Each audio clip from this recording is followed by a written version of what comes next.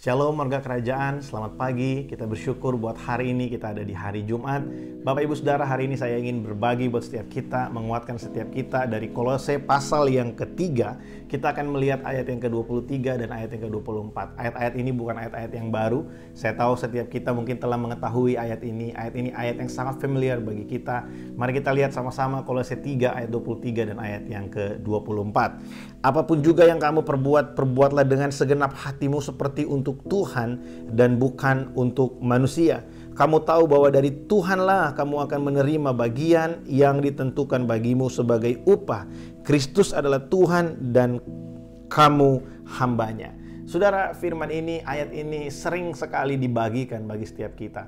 Tapi ada satu prinsip kerajaan yang sangat luar biasa ada di sini, yaitu sikap melayani. Saya sering sekali bagikan ini buat saudara. Kalau kita mengerti panggilan hidup kita, maka pelayanan buat kita bukanlah sesuatu yang berhubungan dengan gereja. Pelayanan buat kita itu berhubungan dengan seluruh kehidupan kita.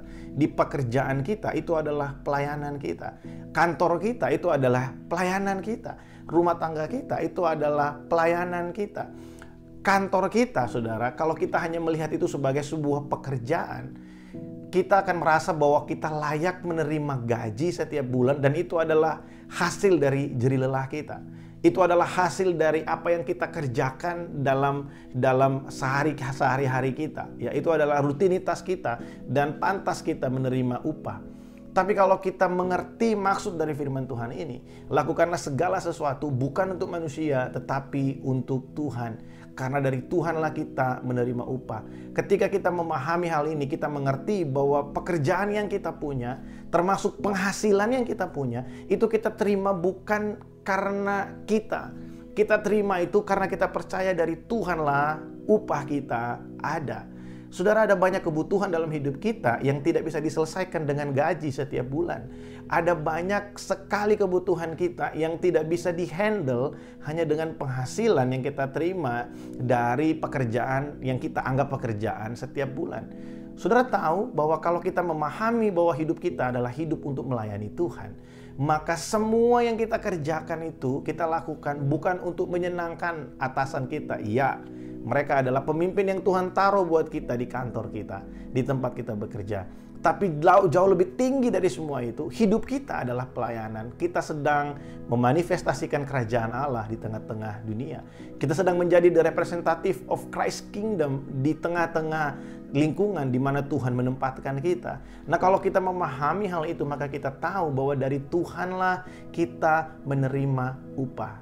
Sehingga ketika kita memahami ini, kita tahu bahwa gaji kita itu tidak memelihara kita, tapi Tuhanlah yang memelihara kita. Dia punya banyak channel untuk bisa memberkati saudara. Dia punya banyak sekali source untuk bisa menolong kita. Hari Minggu kemarin saya sharing buat saudara the source of everything. Tuhan adalah sumber dari segala sesuatu yang kita punya. Kita belajar kemarin seperti Rasul Paulus. Dialah sumber hikmat, dialah sumber kekuatan. Baik ketika kita kelimpahan, baik ketika kita kekurangan, Tuhan tetap menjadi sumber bagi saya dan saudara. Bapak Ibu Saudara ketika kita memahami bahwa semua yang kita punya datang dari Tuhan, maka kita tidak akan pernah ragu atau merasa berat ketika kita memberi untuk pekerjaan Tuhan. Ketika kita menabur untuk pekerjaan Tuhan. Karena kita tahu dari Tuhanlah benih yang diberikan itu. Dan benih itu kita tabur ke ladangnya Tuhan. Dan kita tahu bahwa Tuhan akan menumbuhkan setiap benih yang kita tabur. Saudara saya tidak berbicara tentang berapa puluh kali lipat Tuhan akan memberkati kita dari taburan kita. Yang saya mau bagikan buat saudara adalah prinsip kerajaan. Ketika kita menabur, maka firman Tuhan berkata, ya, tugas kita menabur dan memupuk ya, menyiram saudara. Tapi yang memberikan pertumbuhan itu adalah Tuhan.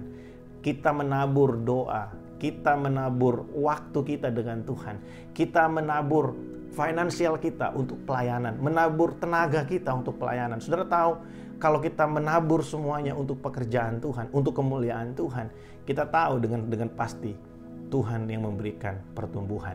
Saudara hari ini mari sadari bahwa pekerjaanmu, keluargamu itu adalah pelayanan kita. Itu adalah pelayanan saudara.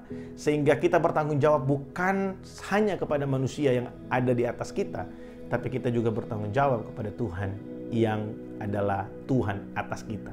Saudara, kalau kita kita bukan hanya bertanggung jawab kepada pemimpin perusahaan atau kepada suami istri kita, tapi kita bertanggung jawab kepada Tuhan yang mempercayakan semuanya itu bagi kita. Dan firman Tuhan berkata, Kristus adalah Tuhan dan kita hambanya.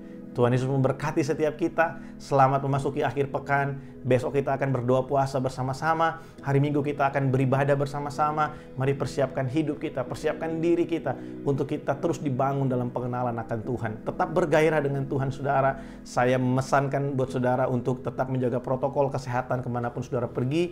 Besok akhir pekan kalau sudah ada kemungkinan untuk kita bisa jalan keluar, mari tetap jaga protokol kesehatan, saling menjaga satu dengan yang lainnya. Saya yakin dan percaya Tuhan menyertai kita ke mana pun kita pergi.